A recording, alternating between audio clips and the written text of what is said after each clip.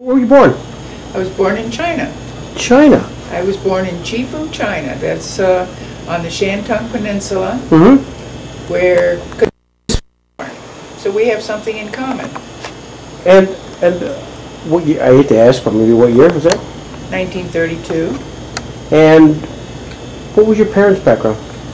Well, my mother was White Russian. Mm-hmm. She and her family fled Russia during the Russian Revolution, and they went across Siberia like Dr. Zhivago did. Oh, no kidding. Went to Vladivostok, and then from Vladivostok went down into China. My father, Yeah. He'd been in the Navy. He Mm-hmm. was originally from North Carolina. And he Mhm. liked China so well, he stayed. I'll be darned. Then he met my mother. My schooling? Mhm.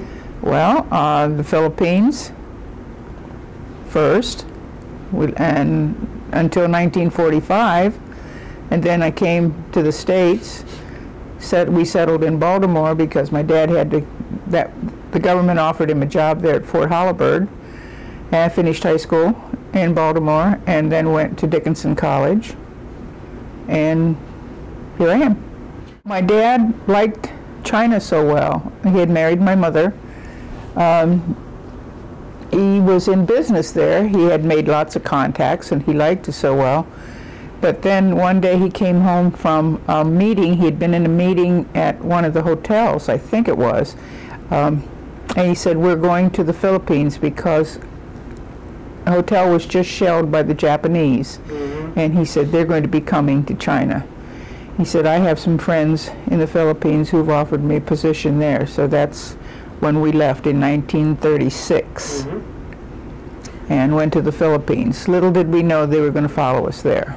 Mean, now the family consisted of you, your mother, and, And my brother, your brother. And your brother's name was Alexander, Alexander. So off you go to Manila. right?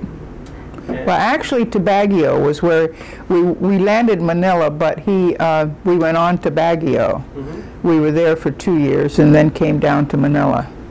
So that'd been 36, 37, 38, so 38 year in Manila. Yeah. Did you first get a sense that things were turning in, uh, in Manila? Did your dad come home and say, hey kids, uh, things are happening? Not really. He, uh, we knew actually the spring or the fall before because my dad, we had never been to the States. My dad wanted to take us to the States, so he went to get passports and, and, no, well, he did have a passport, as did my mother, but, uh, and we were on with them, but they, we were told, no, you can't go until next spring because we don't want to um, panic the Filipinos because by that time all the military families had left. Mm. There were no military families left there. They had already gone to the States. So President Roosevelt kind of gave an evacuation order? Well, I don't know that the president did, but anyway, they Mhm. they went, they left. Right. And they didn't want to panic the Filipinos so that the, all the other Americans would leave. So they said, no, you can't leave right now, but you can leave next spring, Mhm. next April. Right. Well, So fall of 41, they've left, you're still there. What's your sense? You get a, I was a child. yeah, I mean, all this is, um, right now it's all what I'm trying to remember back, but at that point, I didn't really, it didn't influence me or didn't make any impression on me because I was only a child. but there had to be a point where all of a sudden your dad pulls you and your brother together and said, things have changed. Well, It was right after the bombing, Right. yes. So the bombing occurred, what, did you know, I mean, do you have any sense what, what was going on? Uh, Well, we had gone to school. Uh, school hours there were from 7, 7, 8, 9, 10, 11, 12, 7 to 12 because it's so hot Right. that we went to school early in the morning and we were through. We didn't have to go in the afternoon. Well, we'd gone to school. Uh, we had a chauffeur, and next thing we knew, he'd come back to get us because we had gotten the word that the Pearl Harbor had been bombed. Of course, we're one day ahead there. Right. So this was Monday instead of Sunday. Mm-hmm. And then we went back and then sort of sat around waiting, trying to figure out, you know, what we were going to do next. 1941 neared its end, the Japanese were succeeding in closing in on Manila from two directions. The Japanese plan for choking off the Philippine capital was working perfectly.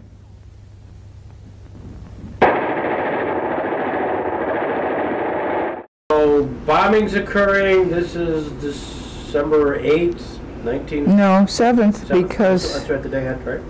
we are a day ahead anyway, see? So December 7th, 1941, uh, you're, you're caught up in the same thing uh, Hawaii's caught up in, Yes, and then started, things probably start happening pretty rapidly. very fast, Yeah. because they just kept coming in waves and really bombing. And MacArthur didn't want the city, you see, before the war, Manila was a beautiful, beautiful city. It was called the Pearl of the Orient. And he didn't want it destroyed, so he declared it an open city, which supposedly means you don't bomb because they're not nobody is down there is going to fight you at that point. I mean, they're not going to shoot your planes or anything like that. But they continued anyway. So this would have, how long was the, did you get a sense of the bombing? Was, how many days? Oh goodness.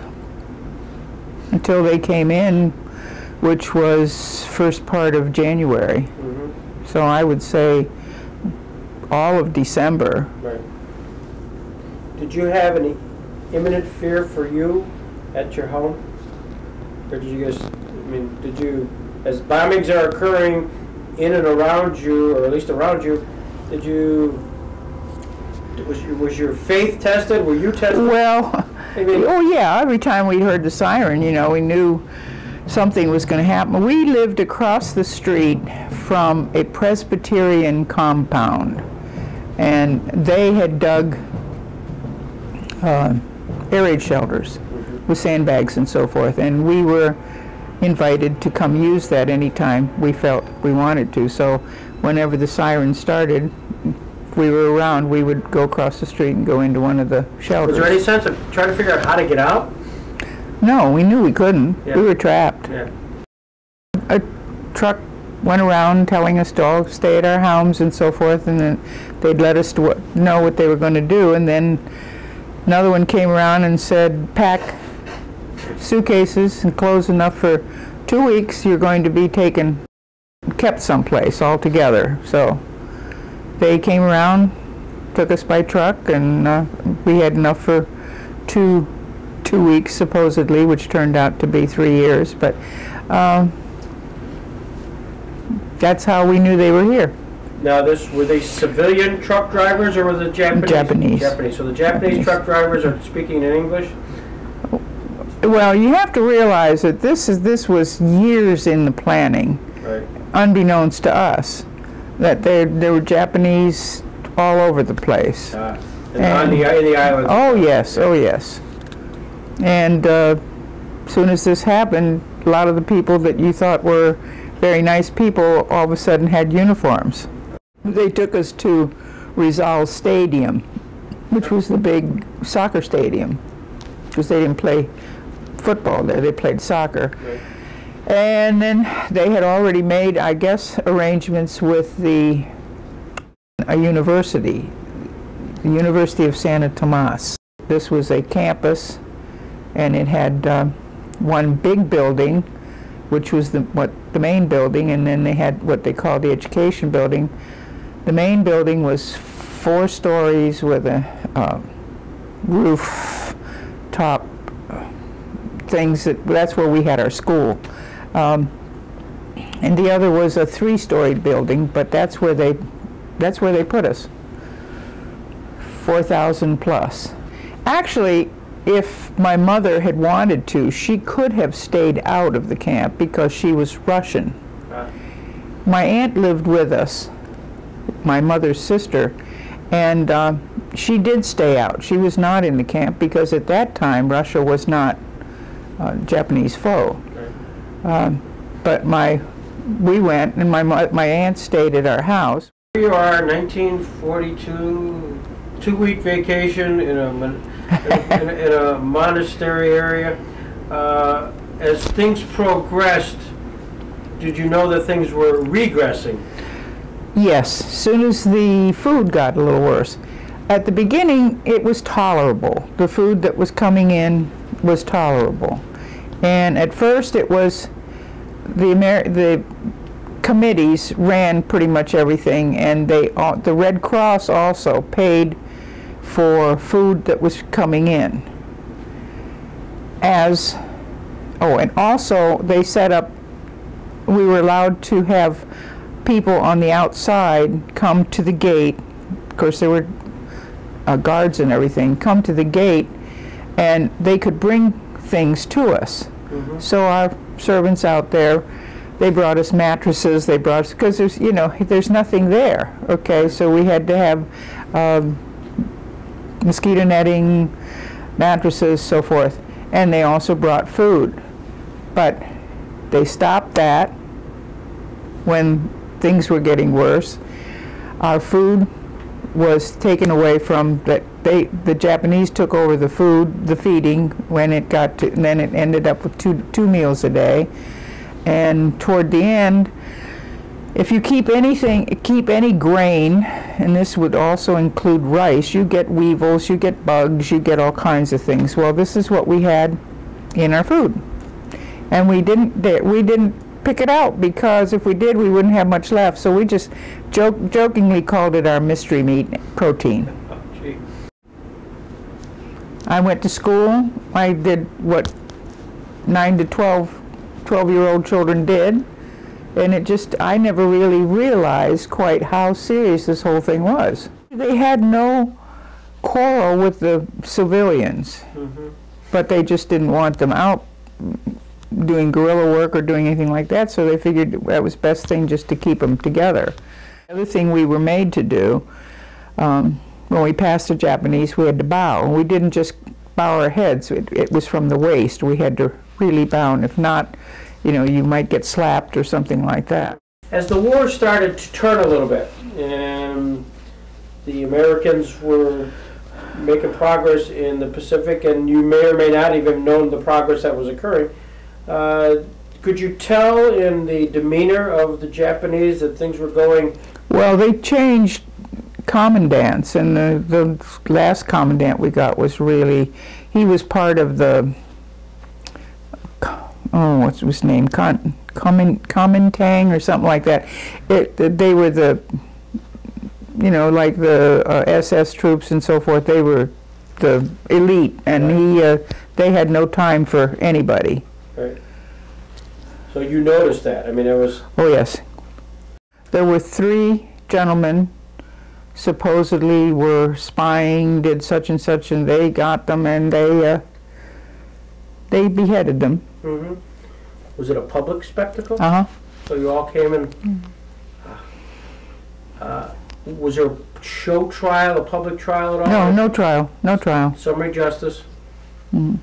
Your summary execution, I Yeah. guess, no justice. Uh, I should probably ask your feelings about that as you're watching that. There again, I was a child. it didn't, I guess I, I just thought it was terrible, yes. Um, but, uh, I mean, I, I really have no love for the Japanese. Mm-hmm. for what so for many reasons uh, for how atrocious they were um,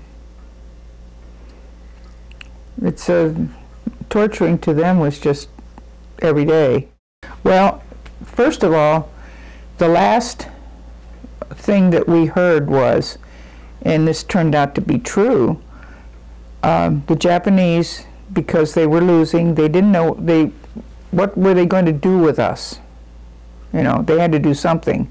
So they were going to take us out and kill us. Mhm. And MacArthur got word of that. So he sent the Rangers and the 1st Cavalry to go straight to Santo Tomas to liberate us because uh, because we would have been killed. They went behind enemy lines and they liberated us. And the thing that was interesting was when they broke down the gates that night, the Japanese were still all around us, Right. but they came right on through. Uh, when they broke down the gates and we heard the tanks and stuff, we still weren't sure. You know, is it the Japanese coming in for us to take us out? Mm-hmm. or what until we heard a southern accent. The Japanese then ran into the uh, education building. They were in the bottom floor. The the uh, prisoners were up on the in the second floor. So they held out there because they weren't going to let these people come by. So my brother and my father were on the second floor there. But uh, they finally reached some agreement and they let them out. Was there any fire? There was a, a little bit, not a whole lot, because there wasn't too much they could do with these big tanks that came in. I mean, they were surprised. Right. They held out for some, you know, the idea that they would not be killed or anything like that, Yeah. so they could go out. But the and the soldiers uh, accompanied them so far and then let them go. Well, Filipinos then took over. American military protection. Yes. Uh, were they able to bring in food? I mean, Yeah, eaten to amount to anything for three years, and then mostly the last the last year, they brought in butter, eggs, uh, all these things that. And my father said, "Now be careful. Now when they come in with this food, don't eat too much because you haven't had too much to eat." He's the one who got sick. Mm. But my dad, my dad was not a very tall man. He was five, nine, five, ten.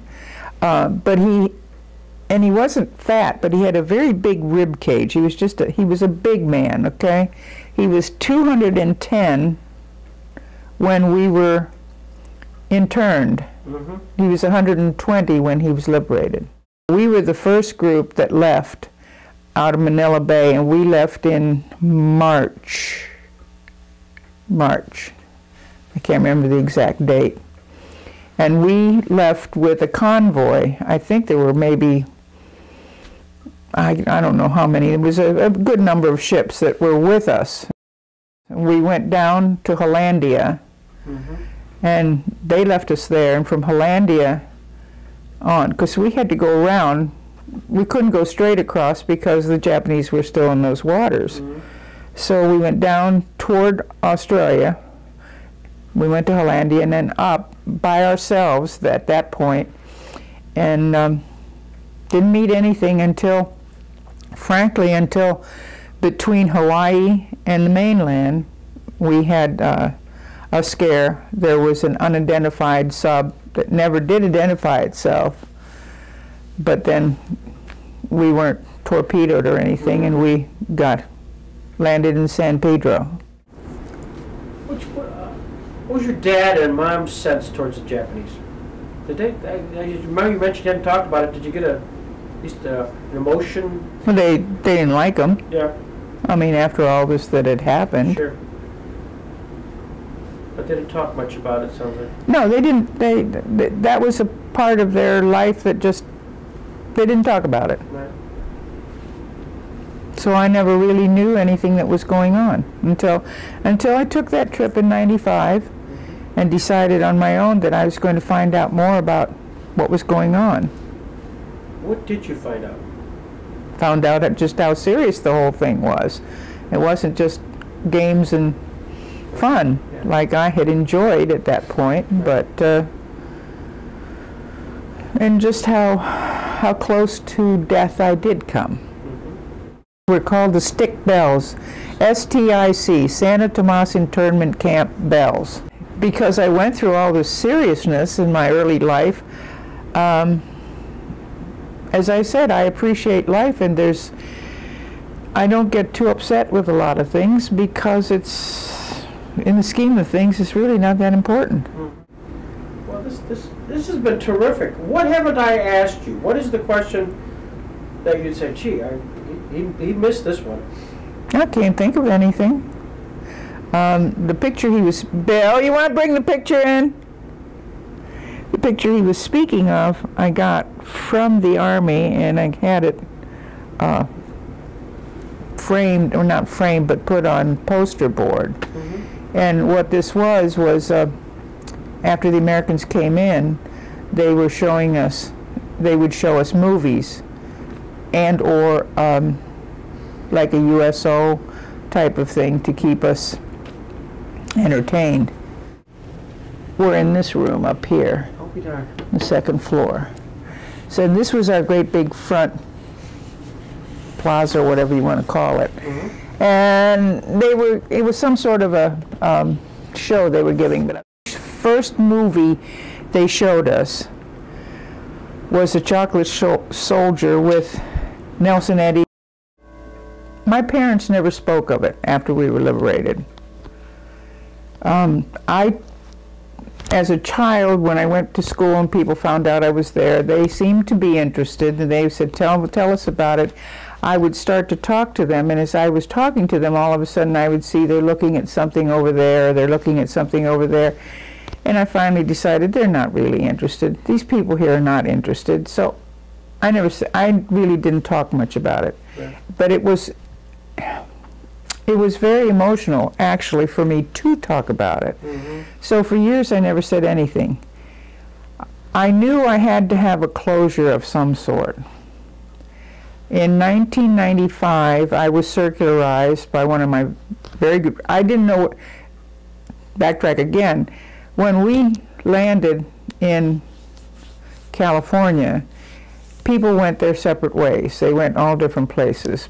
And we had to more or less be sponsored, but my, my father's family in North Carolina spoke for us. So we went to North Carolina. Other people went Massachusetts, Washington. A lot stayed in California. But anyway, I lost contact with all my friends that I had grown up with in the camp. In 95, I got a circular from a, one of the gals who was in the camp with us. And if you had seen Ken Burns' War, Mhm. Sascha, Ah, she uh, wanted to get a group together to go back to the Philippines to commemorate 50 years of our liberation. And she got my name because I belonged to um, ex-prisoner, ex-American, American ex-prisoners of war. Anyway, so I said to Bill, I want to go back. I have to go back. I said I would like you to come with me, but if you don't feel you don't want to come, that's fine. Well, he went. I said, of course I'm going. My trip back in 95 and reconnecting with a lot of my friends, now this is 50 years later, I hadn't seen them at all, mm-hmm. really opened up